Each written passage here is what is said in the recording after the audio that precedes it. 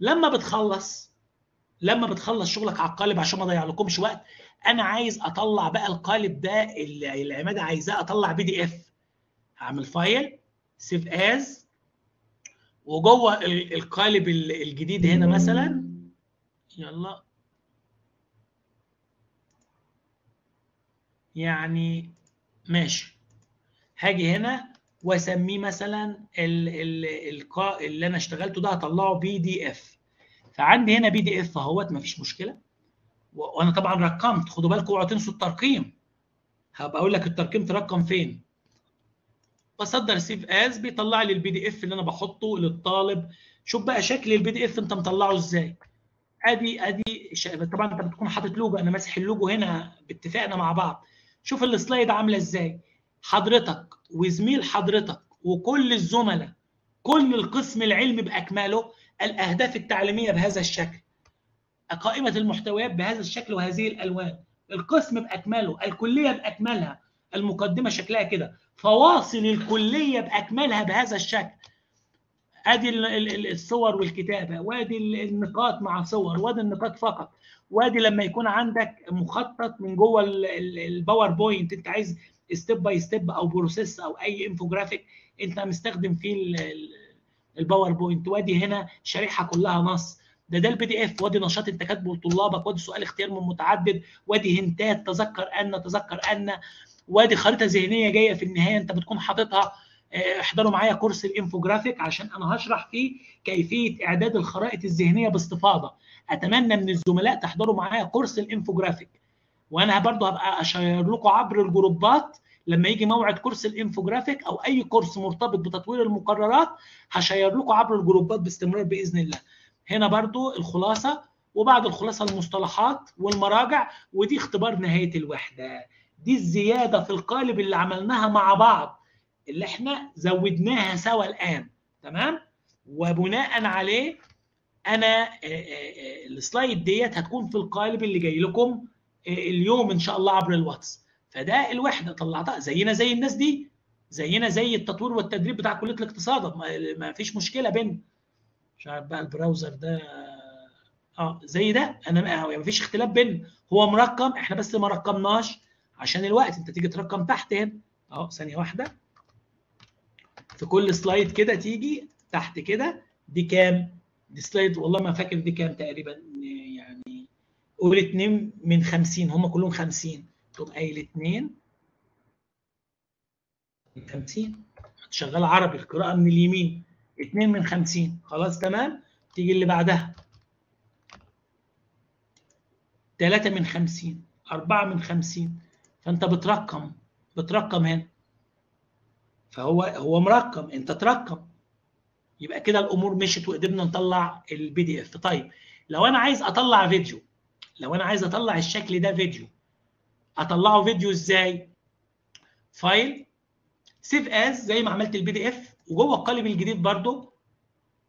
وتيجي هنا وتقول أنا هطلع ده MP 4 عشان معايير المركز الوطني ساعات يطلب منك المحتوى بشكل فيديو ان الطالب يشاهده بس ده يتطلب إنك تسجل عليه صوت لأن الفيديو بدون صوت ملوش أي قيمة. ولكن نقول في حالة الأساتذة المجتهدين اللي هم في مثلا بيدي لغة إنجليزية وعايز يشرح expression معين أو يعلم الطلبة المنطوق الصحيح في اللغة العربية واللغة الإنجليزية. فعايز يسجل صوت. فيسجل صوت الصوت هيكون موجود داخل ال slide. إنما أنت لما تيجي تطلع فيديو من هنا MP 4 وتقول save الفيديو ده معايا MP 4 خلاص للجديد بتاعنا. هو كده شغال. هنا بيقول لك تحت بي render فيديو. لو لو لو انت مسجل صوت في الشرايح وعامل حركات انتقالية وفواصل بين الشرايح أنا بقول لك ما تعملش الكلام ده. سجل صوت بس. سجل صوت فقط عشان يطلع على مستوى الشريحة. تمام؟ إنما ما تقعدش تعمل زمن وكلام من ده. أنت كده هتطول في الوقت. مش محتاجينه آه أنا عارف إن كلكم تعرفوه. لأن ده باوربوينت وحاجات سهلة. ولكن الانتقال بين الشرايح اللي هي ال animation وال transitions والكلام ده بلاش في القالب. إحنا عايزين قالب موحد. يجي أستاذ يحط لي transition بشكل وتاني الصفحات بتتقلب والتالت الصفحات شطرنج وواحد تاني يعمل ال animation كده هنبوظ الدنيا. إحنا هدفنا الآن التوحيد.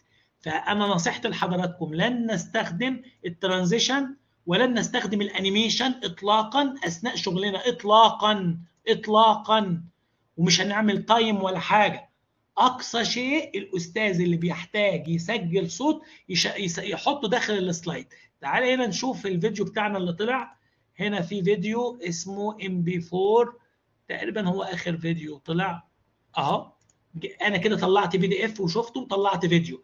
كده أنت تستطيع كل وحده تطلع لها فيديو والفيديو شغال أهو بالوقت ال standard بيخلص slide ينقل على الثانية بيخلص slide ينقل على الثالثه لو انت مسجل صوت في أي slide هيبقى وقت الشريحة هو وقت الصوت. هو بيجري الان ليه؟ الفيديو بتاعك. لأن لا يوجد صوت. ولكن كده انت حطيت فيديو. حطيت animation ال slide بتاعتك بتشتغل فيديو.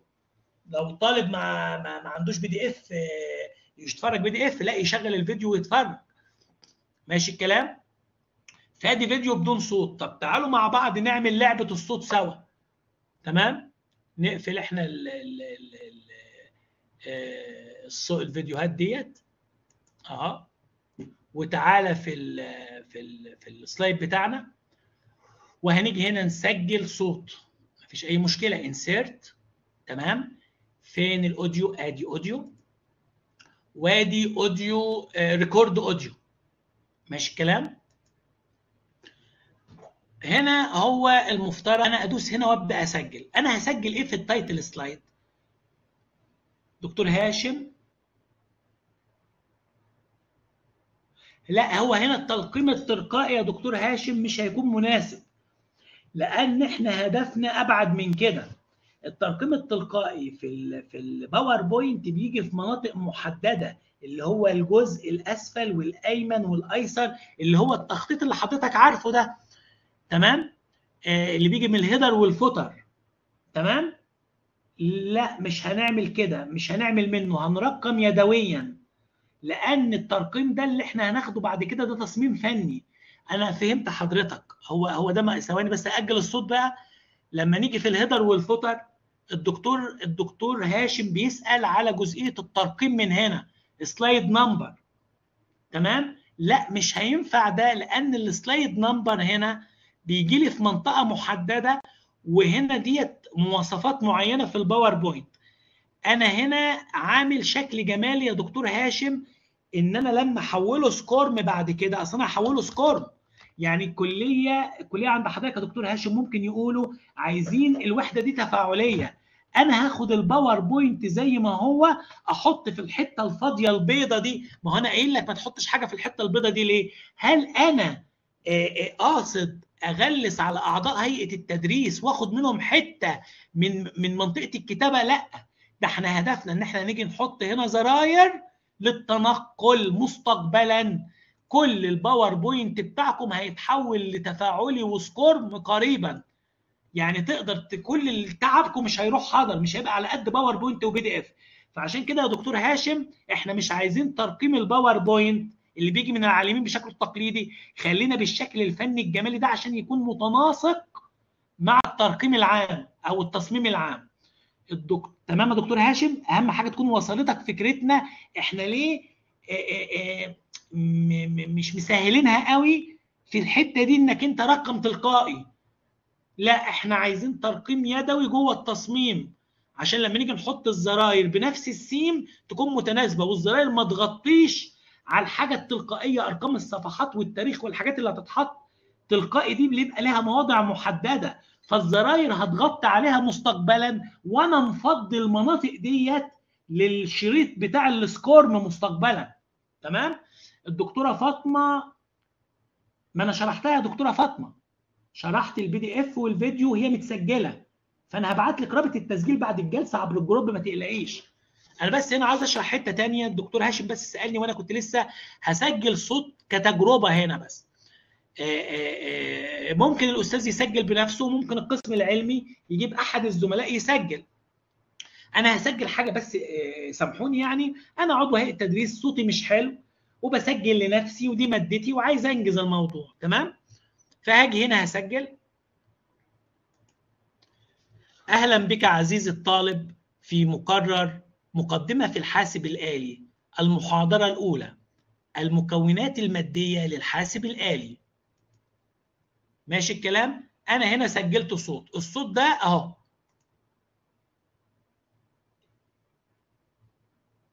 أين أنت؟ يعني والله يعني المفروض أنتوا سامعينه؟ أنا مش سامعه. يمكن جاي عندكم أنتوا بس. هو الصوت واصلكم أصل ساعات بيحصل معايا إن الصوت يوصل للناس ما يوصلنيش أنا. ماشي أقول okay. ده الصوت. هو الصوت ده لمدة. ماشي مفيش مشكلة. طب آآ آآ يمكن يكون نسجل. أجرب بحاجة تانية كمان. أجيب أجيب audio sound recorder. ماشي بس أنتوا فلسفة الموضوع أخدنا بالنا منها يعني. قد يكون المايك مش متظبط. sound recorder اهو كمان من بره. هنجرب بس كده سريعا يعني. السلام عليكم ورحمة الله وبركاته. وما بيسجلش يعني المايك عندي أعتقد إنه مفصول يمكن يعني. كده أرجع للمايك. لا كده نرجع للمايك.